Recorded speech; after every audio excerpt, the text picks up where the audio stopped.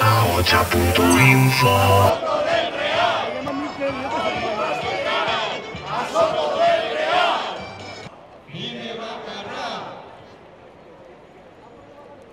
Aquí pedimos varias cosas. La primera, una pensión mínima de 1.080 euros para que todo el mundo pueda vivir con dignidad. La segunda, que la garantía del IPC real para todas las pensiones más allá del 2019, que eso, es, eso no está asegurado y luego lo que sí que pedimos es la implicación del Gobierno de Navarra en toda la política de pensiones que reivindique también la caja de la seguridad social y que eh, cuente con, todo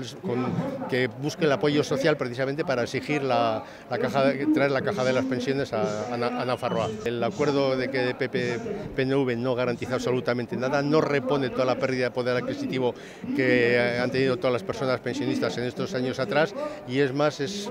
es una, una medida en la perspectiva de las elecciones que vean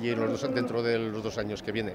Vamos a seguir a partir de ahora todos los lunes eh, aquí en Iruña convocamos a las 12 en el Ayuntamiento de Iruña concentraciones porque pensamos que en el momento que los pensionistas nos desmovilicemos las que están en estos momentos planteándose en el Pacto de Toledo nos las meterán por la puerta falsa.